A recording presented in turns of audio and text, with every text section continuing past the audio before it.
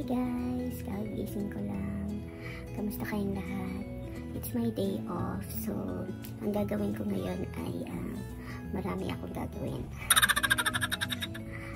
so, baba muna ako kasi hapon na. Mag alas 3 na ng hapon. So, hapon na ako tumabangon sa day off magsisimula pa lang ang araw ko. Good morning for me guys! Kung hindi ka pa nakapag subscribe sa akin, please subscribe and click the notification bell para lagi kang updated sa aking mga kabaliwang video. See you guys!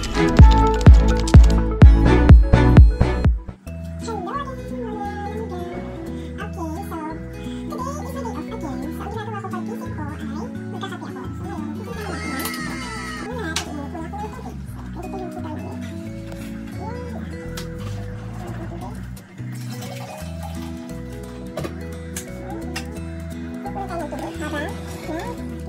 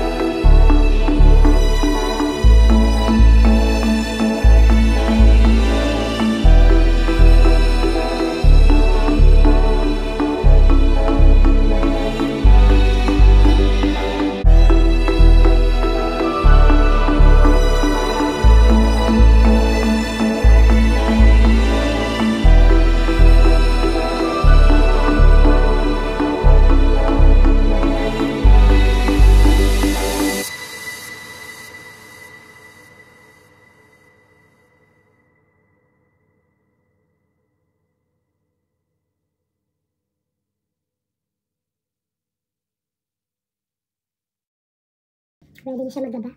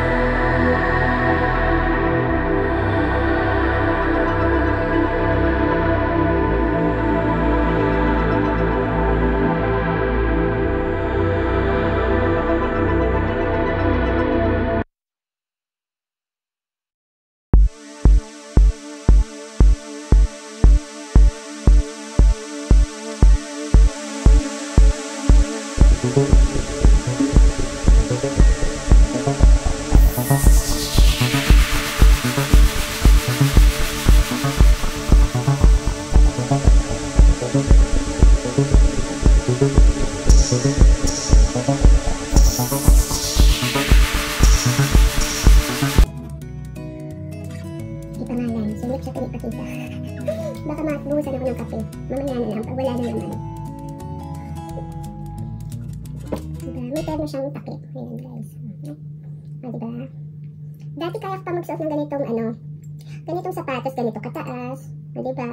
Ano, um, ngayon, pag sinuot ko siya, tiis ganda na lang talaga siya. Grabe. Wala pa isang oras, nagre-reklamo na yung pa ako. So, hindi na ako pwede sa ganito kataas na shoes. Babarter ko na yung mga shoes ko. Abangan nyo guys, ibabarter ko yung shoes ko. Kamay na lang sa may gusto ha. Yan. Kasi, wala naman kasing um, magmamana ng mga shoes ko. So, sa amin, ako yung pinakamaliit na paa. So, ang nakakapag uh, mana ng sapatos ko minsan, kaya yung mga sandals ko, yung nab nabibili ko na medyo malaki ng size sa paa.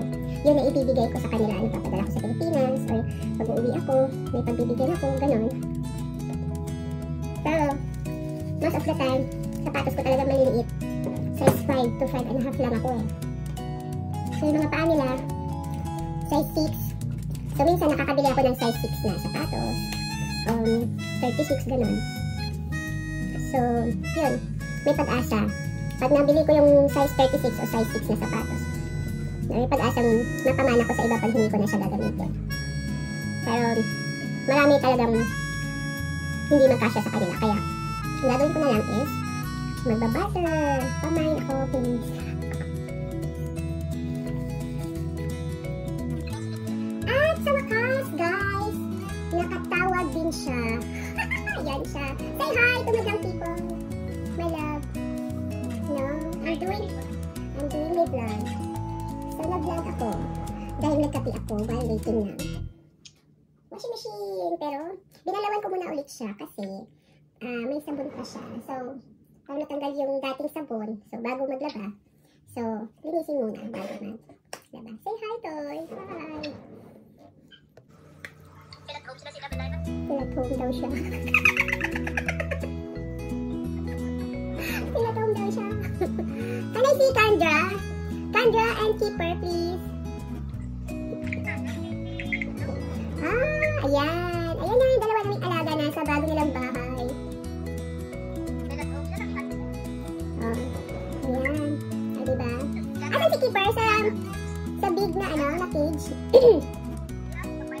so, kasya siya.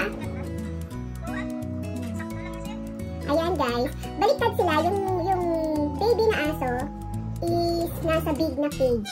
Sa si keeper, si keeper yung puti. Malaki na siya. Pero nasa, ano lang, yung cage niya is parang half lang ni Kandra. Kasi si Kandra is, pag lumaki siya, mas malaki siya kay keeper. Yan. So, tinesting sila sa bago nilang bahay. Pero hindi pa yan tapos kasi wala pa siyang pintura. Lapit mo nga to eh. Ayan. Ayan si Keeper. Si Keeper. O, oh, diba? O, oh, diba ba si Keeper? Yan. Si Kandra. Nasaan si Kandra? Yan. Si Kandra. Sarap na sarap sa tulog. Ayan. Ayan, si Kandra. Sarap na sarap sa tulog si Kandra. Kandra! Sabi ni, sabi ni Love 16, bumaba na daw si Kandra. 3 months pa lang si Kandra eh. Ano siya kasi, Belgian.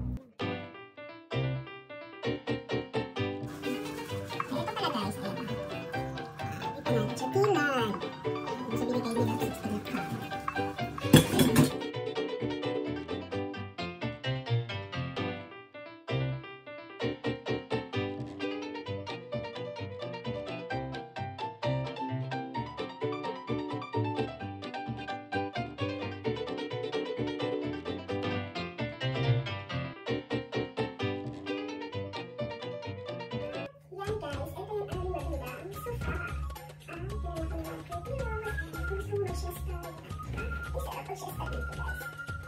akong time for siesta here. Pag today, pag uuwi ako, dito na ako nag, ano, gagawa ng report ko, dito ako. Gusto ko nga natulog dito eh, kasi nakakamagulat sila. Ano, bakit nandito ako? Dito ako natutulog sa sofa. Pero sarap ng siesta dito guys, sarap ganun. Sabit na legs,